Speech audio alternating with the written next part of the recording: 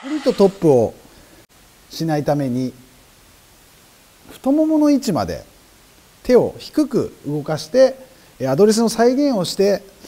打ちましょうというお話を前回しました。でダフリットトップをなくすためにそうすると今度逆に皆さんのイメージだとこんなに手が低く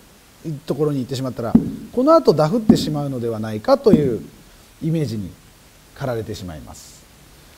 ですがその後のイメージなのですが手が下がっていても体がそのまま向きを変えていくだけですのでこのまま手が下がっていても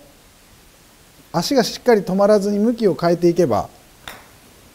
このようにボールにしっかりコンタクトしてくれます。でこのようにボールが届きますのでかなり手を下がってくると狭い状態になりますのでその狭い状態のままこのように手首を落としてしまうとダフリアトップがまた出てしまいますのでこの角度をキープしたままもうこのままの姿勢でもう感覚としては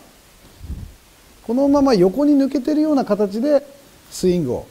完結していただいて大丈夫です。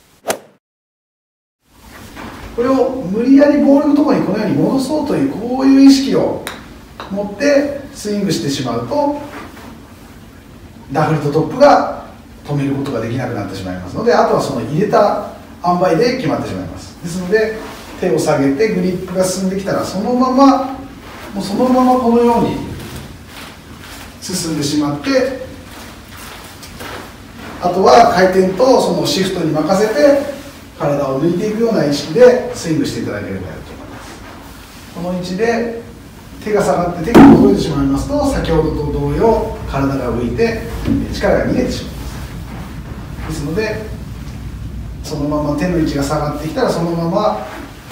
このままクラブが進んでしまうようなイメージでスイングをしていただいてあとは回転と遠心力が体を動かしてくれますのでそのままスイングを完結していただければ手元がこのように下がってきてもヘッドを垂らさずにそのまま回転と体重で体重移動で抜いてあげてスイングを完結してあげればクラブがだんだんしっかりと抜けるようになりますのでそのような形で練習していただければダブルトップを一挙に消したことができますので注意して練習していただければと思います。本日もご視聴ありがとうございました。チャンネル登録よろしくお願いいたします。